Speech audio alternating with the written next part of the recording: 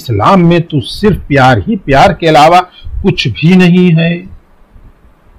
तो यकीनन आपका जहन ये सोच रहा होगा कि जब इस्लाम में इखलाक ही इखलाक है, प्यार ही प्यार है, मोहब्बत ही मोहब्बत है तो फिर ये जिहाद क्या है?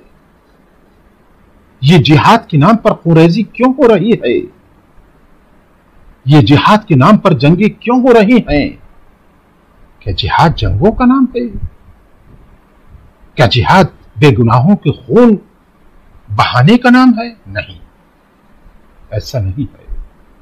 जिहाद तो एक पाक ऑपरेशन है कि वो करेक्टर्स कि जिन पर तबलीग असरअंदाज नहीं कर हो रही और वो पूरे समाज को बर्बाद कर रहे हो, उन कैरेक्टर्स जिहाद के नाम पर उस समाज को बचाने के लिए उन कैरेक्टर्स के खात्मे का नाम जिहाद है। बिल्कुल उस अंदाज से कि जैसे माज अल्लाह अगर हमारे हाथ में सेप्टिक हो जाए तो डॉक्टर हमारा हाथ काटकर पूरे जिस्म को बचा लेता है। बिल्कुल उसी अंदाज से वो चंद लोग जो पूरे समाज को खराब कर रहे हों तो जिहाद के नाम पर उनको खत्म करना वाजिब है। मगर जिहाद के लिए शर्त है कि पहले तबलीग की जाए। और अगर तबलीग का असर नहीं होता, और वो करेक्टर पूरे समाज को खराब कर रहे हो, तब उनका जिहाद के नाम पर खात्मा करना ज़रूरी है। और जिहाद के लिए यह शर्त रखी गई है कि जिहाद की सरबराही मासूम करेगा, जो गुनाहों से पाक होता है, जिसका हर एक कदम सिरात मुस्तकीम होता है।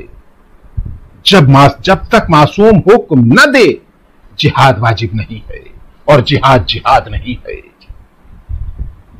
दुनियावी मिसाल सुन लीजिए, जिससे आप आसानी से समझ जाएँ कि चोर चोरी करने आया, चोरी करके निकल गया और साथ साथ हमें छोटा सा जख्म भी दे गया, पकड़ा गया, पुलिस ने पकड़ लिया, तीन सौ दो लगाई, उसे जेल भेज दिया गया और दूसरी तरफ़ ऑपरेशन थिएटर से डॉक्टर बाहर आया।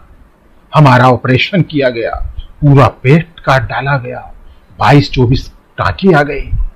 और इधर ऑपरेशन थिएटर से डॉक्टर निकला और हमारे आयजा करबा ने उन्हें मुबारकबाद देना शुरू कर दी। आखिर क्या फ़र्क है? चोर ने इतना सा जख्म लगाया तो उसे जेल भेज दिया गया। इन्होंने पूरा पेट काट डाला तो इन्हें मुबारकबाद दी जा रही है। आखिर क्या फ़र्क खंजर, चोर के हाथ में भी था खंजर, डॉक्टर के हाथ में भी है, खून उसने भी बहाया था, खून इसने भी बहाया है, मगर फ़र्क है और ज़बरदस्त फ़र्क है कि वहाँ खंजर जहालत के हाथ में था, यहाँ खंजर इल्म के हाथ में है। चोर की नीयत अलग थी, डॉक्टर की नीयत अलग थी। चोर मारना चाहता था, डॉक्टर ज़िंदगी देना चाहता है। बस यही मैार है। इसे ही अपने जहन में बैठा लीजिए कि वो जंगे इनकी सरबराही मासूम कर रहा हो, जो समाज को पाक करने की कोशिश कर रहा हो, समाज से इस बुरे जर्म्स को दूर करने की कोशिश कर रहा हो। वो जिहाद है। पूरी इस्लामी तारीख देख जाइए और सिर्फ़ यही पैमाना सामने रखिए। मासूम और आलिम को अलग अलग न कीजिए, क्योंकि मासूम तो इल्म का खजाना होता है। कि वो जंगे, इस्लामी तारीख की वो जंगे कि जिसकी सरबराही मासूम कर रहा हो, वो जिहाद है। और जिसकी सरबराही गुनहगार मुसलमान कर रहा हो, वो सिर्फ़ जंग है, जिहाद नहीं है। सलावात है जी यह है इस्लाम की सही तस्वीर।